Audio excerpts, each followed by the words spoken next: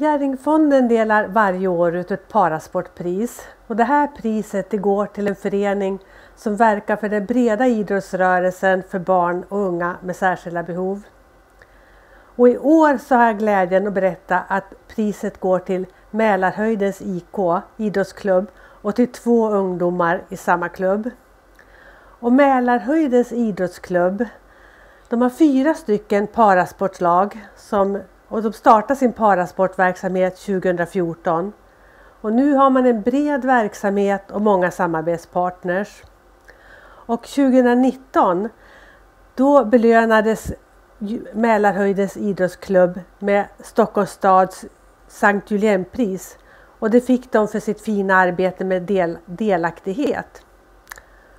Och de två ungdomarna som premieras i år det är Vida Feda och Doruk Sös. Och Vida hon är en positiv person som sprider glädje omkring sig. Och hon inspirerar både sina lagkamrater och sina ledare. Och Doruk han är en riktig naturbegåvning. Han har en bländande teknik och han är en förebild för sina kamrater. Ett stort grattis från Jerringfonden till Mälarhöjdens idrottsklubb, till Vida och till Doruk. Grattis!